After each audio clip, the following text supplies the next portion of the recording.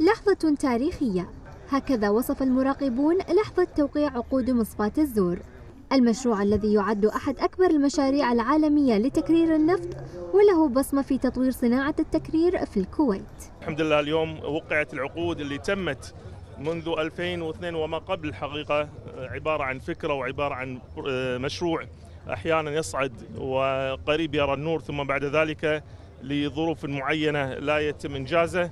اليوم إحنا فخورين جدا بهذا الإنجاز ونتمنى إن شاء الله تعالى اليوم اللي فعلا تستطيع المصفاة إخراج 615 ألف برميل من الوقود نظيف قليل السلفر. مشروع تنموي وهو تحتاج الكويت تمشيا مع الاشتراط الاشتراطات العالمية البيئية وكذلك الحاجة التي تحتاجها وزارة الكهرباء والماء لخططها المستقبلية. مشروع ضخم بمواصفات عالية تعتمد على تقنيات التكرير المتطورة والتي ستزيد من وتيرة التنمية الشاملة.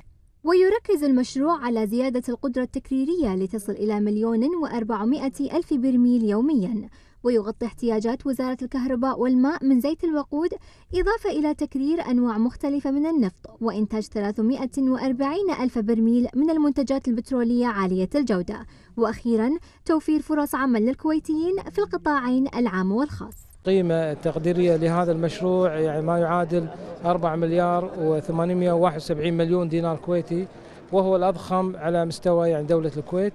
وهذا المشروع استراتيجي ويحمل يعني علامات كثيرة. مصفاة الزور يتميز بطاقته التكريرية الكبيرة 615 ألف برميل باليوم. هذه المصفاة هي أكبر مصفاة في العالم تبنى بمرحلة واحدة بهذه الطاقة التكريرية الكبيرة مشاريع مستقبلية عدة تأتي إلى جانب مصفاة الزور لتكمل المسيرة النفطية ذات الأهمية الاستراتيجية. توقيع عقد مصفاة الزور والذي يعد أحد أهم المشروعات التنموية يؤكد من جديد أن لا إيقاف لمشروعات خطة التنمية رغم استمرار تذبذب أسعار النفط. زهراء الكاظمي لتلفزيون المجلس.